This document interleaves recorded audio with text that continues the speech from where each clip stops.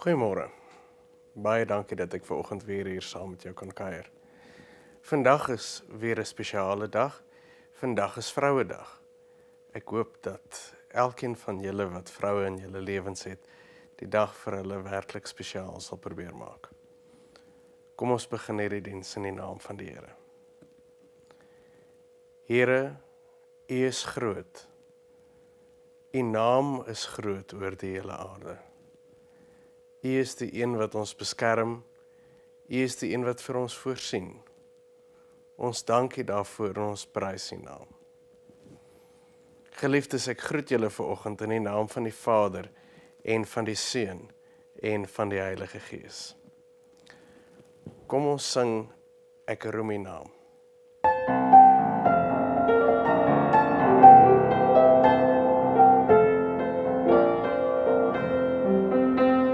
Ek roem U naam, ek wil graag sing, ek wil eer U hulde bring, want daar is trouw en liefde by hier.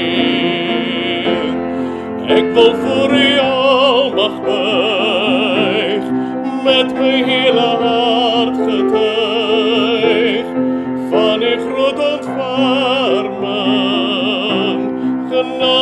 genade vir 'n sterfling.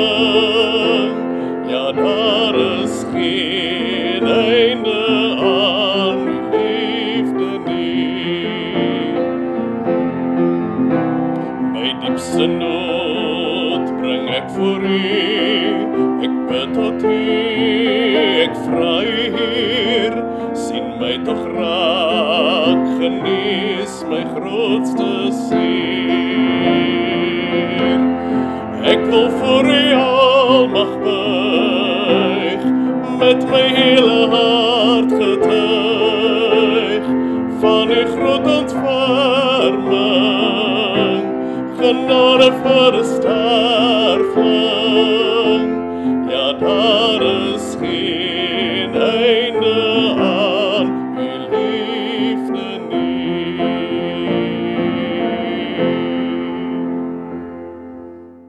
Ons gaan nou weer na oom Carolus en Lente luister.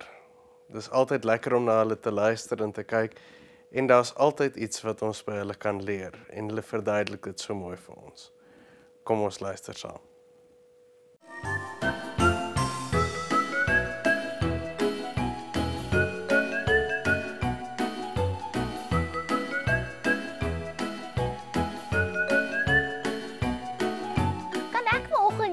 Groet om Carolus? Maar natuurlik kan jy eers groet lengte. Hallo maatjies, ek is opgewonde saam met hom Carolus dat jy kom kuier het. Julle moet hoor wat gaan ons vandag doen. Doen. Ons gaan vir julle mooi goed vertel van ons wonderlike koning Jesus. Maar kyk heel eers hier. Kyk.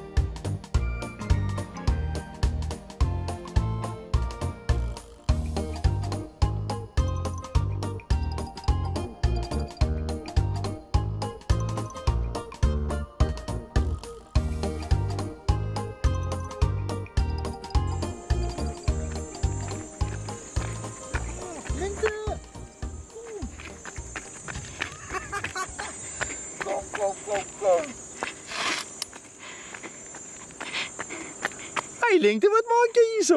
Ek het jou gesoek en toe sien ek jy sit hier op die damwal. Ek vang vis. Wil jy by my kom sit terwyl ek vis vang? Asseblief oom Carolus, kan ek kan ek saam vis vang? Ja, jy kan, jy kan, jy kan, jy kan. Okay. Kom klim hier so op my skoot. Kom.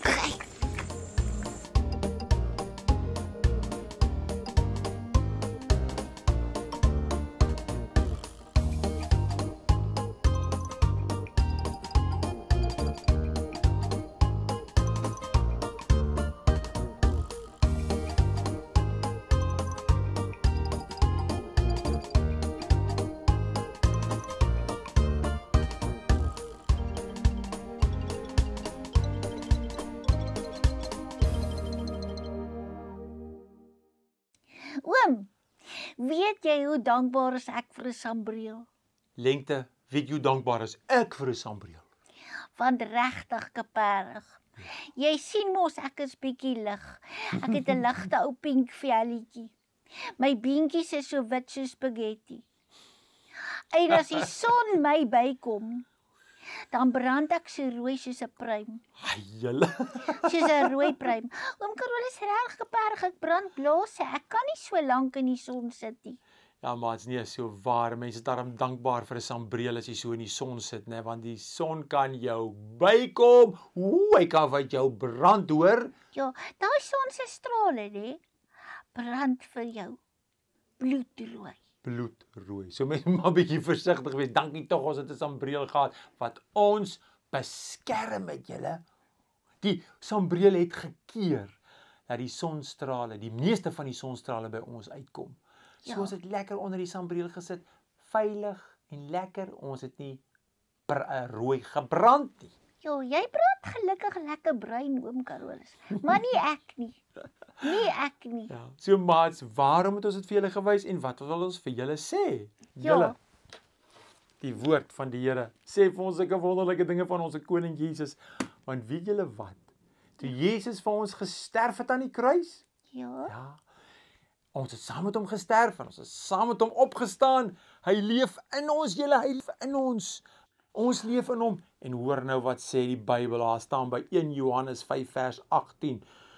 Ons weet dat elkeen wat uit God gebore is, nie sondig nie, maar hy wat uit God gebore is, bewaar homself en die bose, die Satan, die duiwel het geen vat op hom nie. Maats, Ja. net soos wat daar die ou sambreeltjie ons beskerm het van die sonstrale wat ons kan brand, het dit ons nou laat na dink. Omdat ons vir Jesus in ons het. Ons leef nie meer nie, hy leef in ons. Die duiwel kan niks aan ons doen nie. En al probeer hy, kan niks regkry nie. Hy kan nie. Want daar staan ook geskryf oom Carolus, hy wat in my is, is groter as hy wat in die wêreld is. En wie's in my? Jesus, Jesus Christus leef in my. het julle gehoor, maats? Die bose het geen hou vas op ons nie, kan niks aan ons doen nie omdat ons Jesus in ons het. Wow!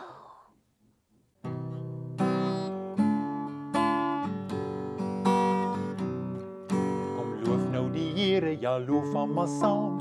Halleluja.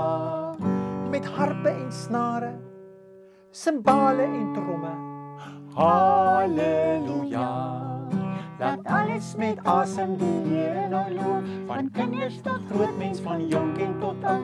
Laat alles met asem die Here nou loof. Halleluja.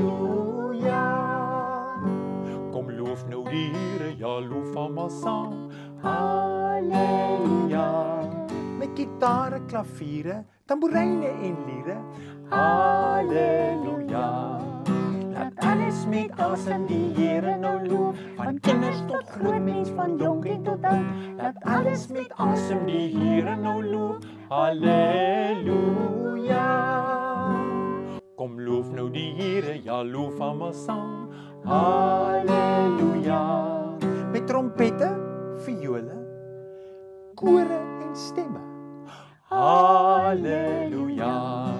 Laat alles met asem die Here nou loof, van kinders tot groot mens, van jonk en tot oud. Laat alles met asem die Here nou loof. Halleluja. Laat alles met asem die Here nou loof, van kinders tot groot mens, van jonk en tot oud. Laat Laat alles met asem die Here nou loof. Halleluja.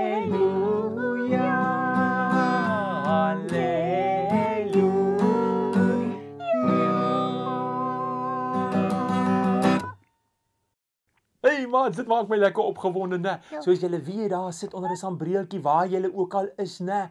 Ja, of julle sit in die skaduwee want julle kom uit die son uit en dan beskerm die afdakkie of die sambreel of wat julle ook al. Dan dink julle net aan 1 Johannes. Ja, 5 daar by vers 18 wat sê die duiwel het geen hou vas op ons nie. Wie beskerm ons? Jesus, Jesus. want hy bly In my. ons. Fantasties. Ons moet groet en tot haar volgende keer sê ons Maranatha. Genade vir jou. Genade van hom is genoeg.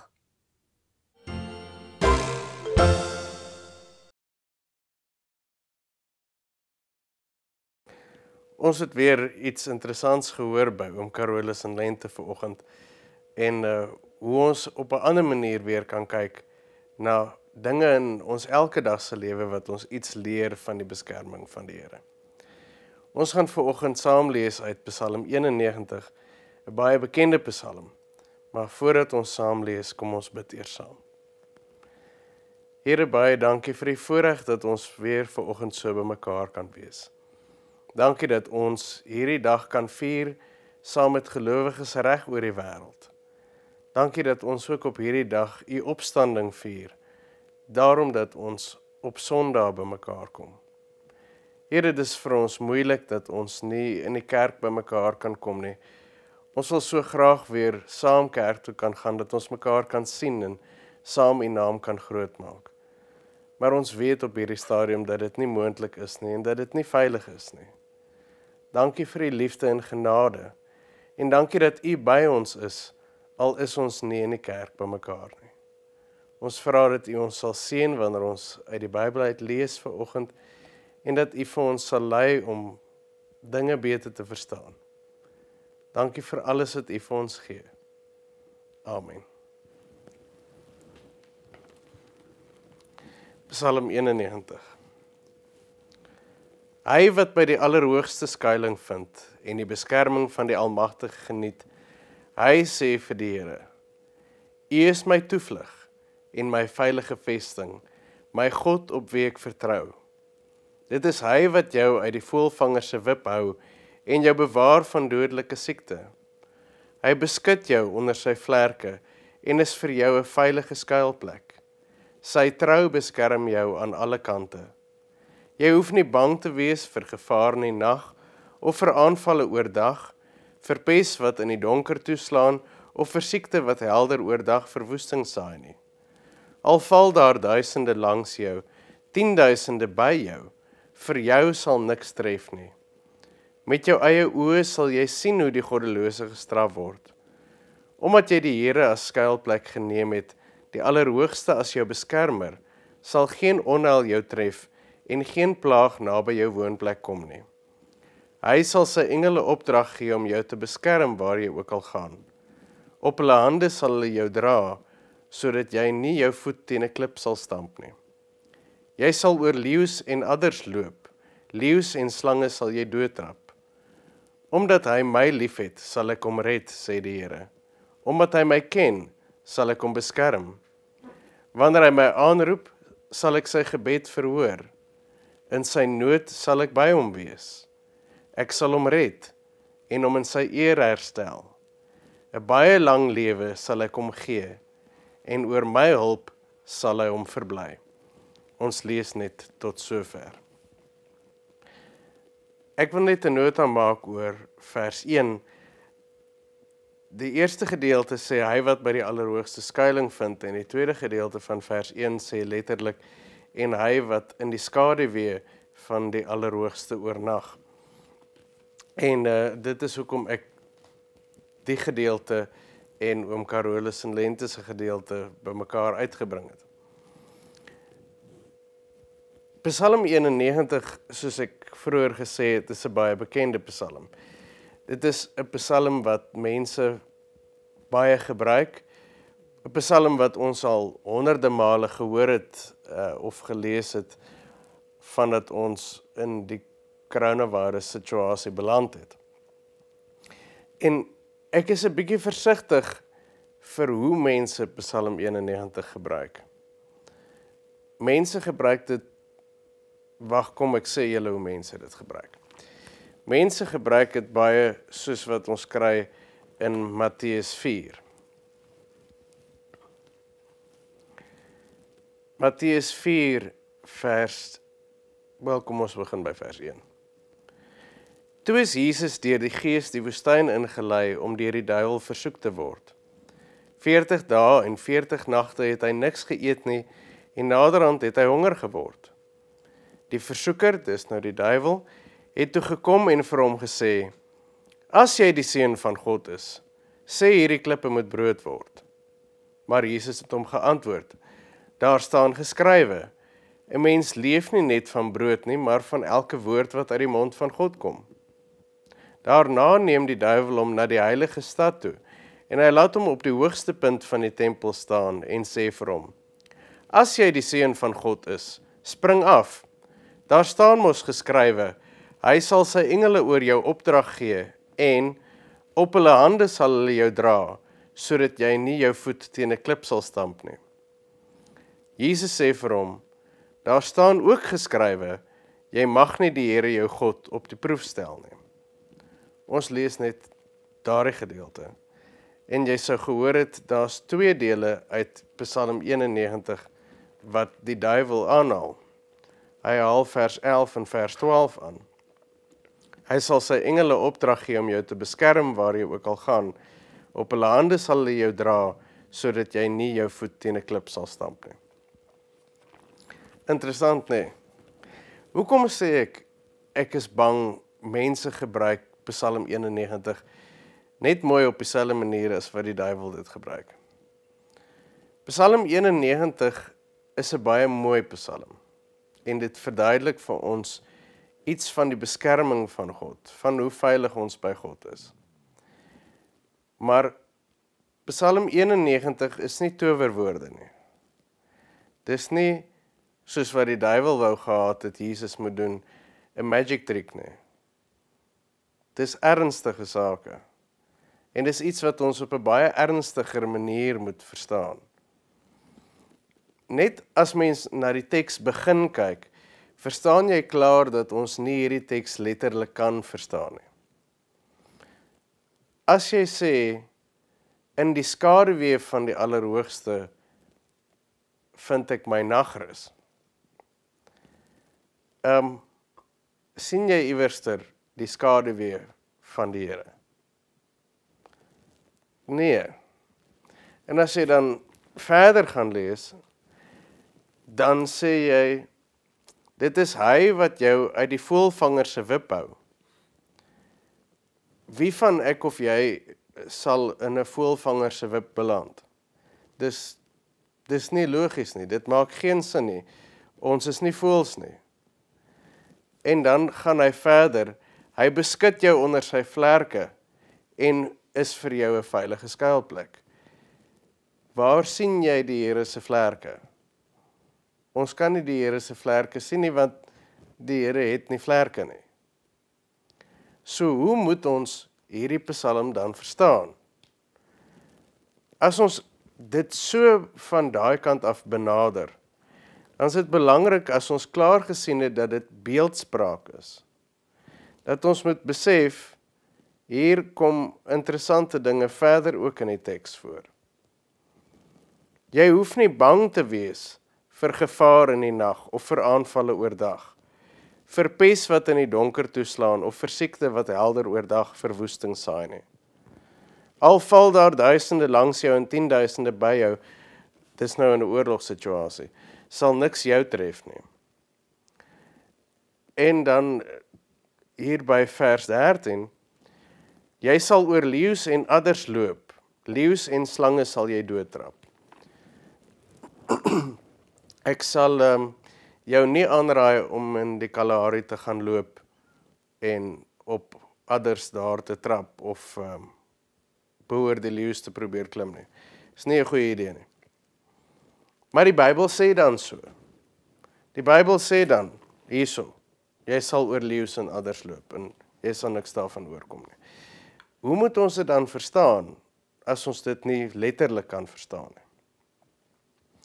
En dit dink ek die belangrikste gedeelte is hier aan die einde van vers 4. Sy trou beskerm jou aan alle kante. Die Here is getrou. Hy is ons helper, hy is ons hulp. Hy is die een wat ons beskerm. Maar as ons dan nie op die Here se beskerming staat maak hier vir teen leeu's of teen adders of aanvallers of allerlei sulke dinge nie. Waar moet ons dan op die Here se trou staat maak? Waar moet ons dan op die Here vertrou? Waar moet ons van sy hulp afhanklik wees? Die Here help ons geestelik. Die Here beskerm ons teen die aanvalle van die duiwel. Die Here beskerm my en jou sodat ek en jy eendag wanneer ons sterf na hom toe sal gaan sodat ons in sy teenwoordigheid sal kan lewe. Die letterlike verstaan van Psalm 91 maak dinge baie moeilik en baie gevaarlik. Want dan begin 'n mens die vraag vra. As Psalm 91 dan sê geen pes sal jou tref nie, geen siekte sal jou tref nie. En jy hoef nie bang te wees vir aanvalle nie. Wat dan van wat in die wêreld om ons aangaan? Dan moet ons dit so verstaan dat geen Christen ooit sal siek word nie. En dat geen Christen ooit aangeval sal word of in 'n huisroof of in 'n karroof of of in 'n plaasaanval iets moet oorkom nie. Dis tog duidelik nie wat Psalm 91 vir ons probeer sê nie. Psalm 91 sê vir ons dat ons op God kan vertrou dat God ons beskerm. Maar dat dit wat in die wêreld gebeur nog steeds in die wêreld aan die gang is. Dit wat in die wêreld gebeur is los van wat God ons mee beskerm. God beskerm ons van die bose geeste in die lug soos wat die Nuwe Testament dit doen. God beskerm ons sodat ons hier binne gesond sal wees en heel sal wees. Sodat ons nie bang hoef te wees vir die aanvalle van die bose nie. Soos dan nou ook wat ons sien hier in Matteus 4. Wanneer die duiwel sê maar maar maak so Psalm 91 sê spring dan sê Jesus jy verstaan nie Psalm 91 reg nie. Psalm 91 is nie vir hierdie doel geskryf nie. Dis nie bedoel dat kom ons kyk hoe ver kan ons die Here push en dan hy sal nog steeds al die pad vang waar ons gevang moet word nie. Dis nie waaroor dit gaan nie. Dit gaan oor dat ek en jy elke dag beskerm word deur God. Dat ons toegevou word in God se liefde. sien weer beeldspraak. Nie ek of jy word toegevou in enige iets nie. Maar ons word toegevou in God se liefde. Ons word onder sy vlerk ingeskuif daar waar hy ons kan beskerm. Ek dink ons skrik 'n bietjie as ons die woord beeldspraak hoor. As ons hoor ons kan nie 'n teks letterlik lees nie. Maar op die ou end is dit nie soveel mooier as dit dan vir jou verduidelik waaroor dit werklik gaan nie. Hoe die psalmdigter aardse woorde probeer kry het om te verduidelik hoe God ons beskerm. Want op die ou end is daar nie regtig woorde om te verduidelik hoe goed God ons beskerm, hoe mooi God ons beskerm nie. En op die ou end het God sy beskerming so ver gedryf dat hy aarde toe gekom het en in sy seun Jesus Christus wat self ook God was aan 'n kruis gesterf het vir my en vir jou sodat hy ons kan beskerm teen die sonde en die ewige dood. Dit is beskerming. Amen. Here, daar's soveel dinge wat ons in die Bybel nie altyd lekker verstaan nie. En baie keer wil ons 'n ding presies verstaan soos wat dit daar staan. Maar dan kom ons agter dit wil nie lekker werk nie. Dankie dat U ons verstaan. Dat U ons harte verstaan. Dat U verstaan dat ons nie altyd weet wat om te sê of hoe om dit te sê nie. Dat ons nie altyd woorde het om uit te druk hoe groot U is en hoe groot U beskerming vir ons is nie. Dankie dat ons nie woorde hoef te hê nie. Dankie dat ons net ver oggend vir U kan kom dankie sê.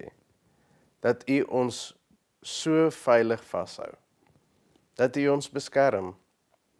Dat U seker maak dat ons saam met U sal lewe. Dankie dat U vir ons sonde aan die kruis betaal het. Dit's net genade alleen. So groot dat geen woorde dit ooit sal kan beskryf nie. Dankie vir alles wat U vir ons gee. Alles wat U vir ons doen elke dag.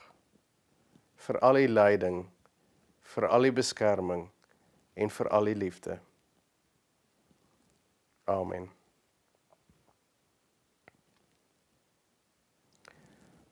Kom ons sing genade onbeskryflik groot.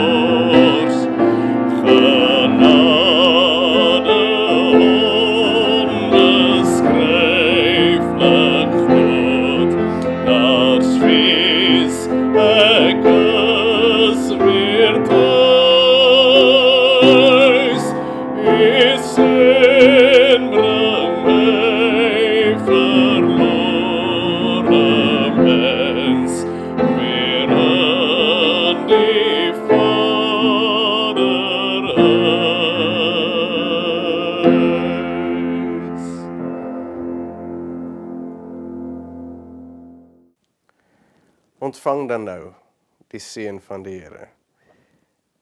En luister mooi. Die Here is voor jou om die pad gelyk te maak. Die Here is langs jou om jou in sy arms toe te vou. Die Here is onder jou om jou te dra as jy sou val.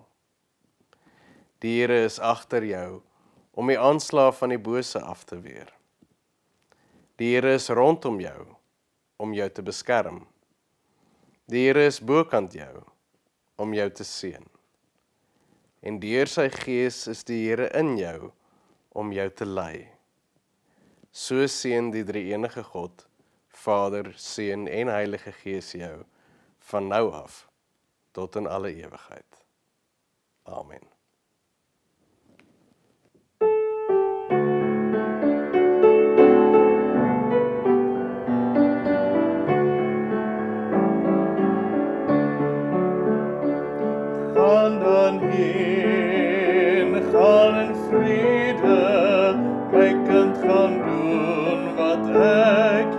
Jou vra.